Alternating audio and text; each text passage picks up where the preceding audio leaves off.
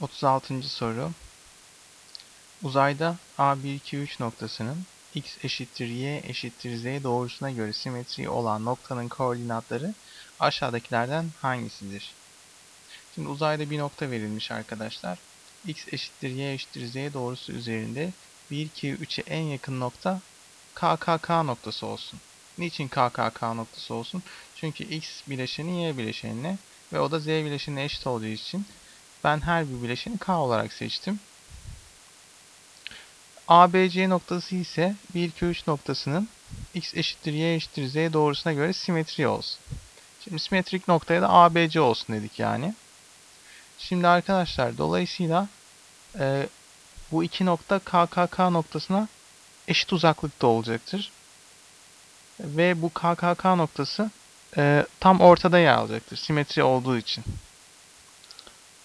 tam ortada yer alacağı için e, her bir bileşenin toplamının yarısı k'ya eşit olacaktır. Örneğin a artı 1 bölü 2 k'ya eşit olacak. b artı 2 bölü 2 k'ya eşit olacak. r artı 3 bölü 2 de yine k'ya eşit olacaktır. Ve ben şimdi içler dışlar çarpımı yaparsam a'yı, b'yi, c'yi 2k eksi 1, 2k eksi 2, 2k eksi 3 bulurum. Bu sonuçtan dolayı ben B, D ve C şıklarını elerim. Niçin? Çünkü burada azalarak gidiyor. Ee, 3, 2, 1 azalarak gidiyor. 5, 4, 3 azalarak gidiyor.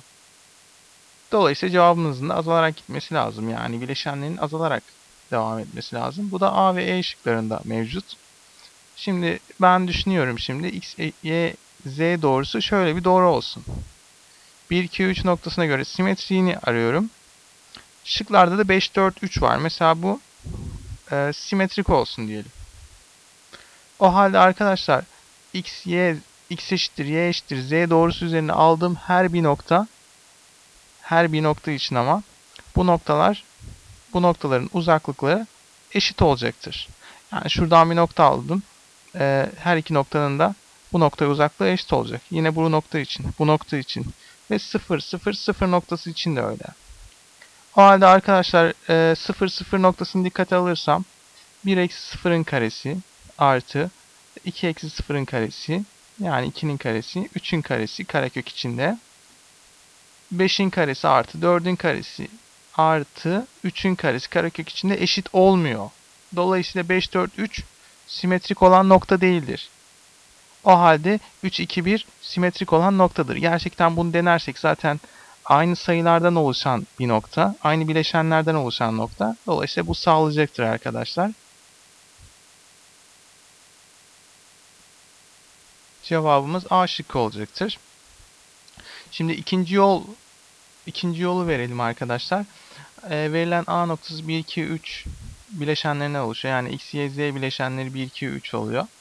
Şimdi e, iki boyutta düşünürsek eğer x eşittir y'ye göre simetriyi düşünelim mesela. x ve y bileşenlerin 1 2 x eşittir y'ye göre simetride ne oluyordu iki boyuttan hatırlarsak? Bileşenlerin yeri değişiyordu. 2 1 oluyor x eşittir z'ye göre simetriyi düşünelim. 1 3 oluyor. 1 3 3 1 oluyor. y eşittir z'ye göre simetriyi düşünürsek arkadaşlar 2 3 için 3 2 noktasına karşılık geliyor. Tabi bu iki boyutta düşündük.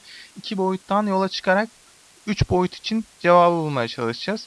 Ee, şimdi bu 3 noktayı birlikte dikkate alırsak 3 e, bileşeni 3 sayısı 1'in ve 2'nin e, solunda yer almış arkadaşlar. Ve yine iki sayısı 1'in solunda, 3'ün e, de sağında yer almış. Dolayısıyla ortada yer alıyor. Bir sayısı da her ikisinin sağında yer alması lazım. 1, 1. Gerçekten de öyle. Dolayısıyla cevabım A şıkkı olacaktır. Yani arkadaşlar e, x eşittir y eşittir z için e, simetrik olan nokta bileşenlerin yerinin değişmiş halidir.